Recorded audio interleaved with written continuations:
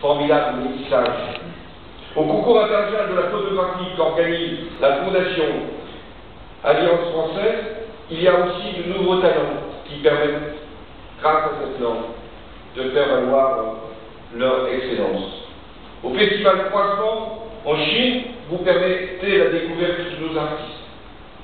Et je salue aussi le rôle qui est le dans le rapprochement entre la France et l'Afrique du Sud. Bref, je pourrais citer tant de pays. Et même dans les pays où il y a des désordres, des conflits, des guerres, où se retrouver, si ce n'est à l'Alliance française, pour avoir un lieu de sérénité, de concorde et de paix.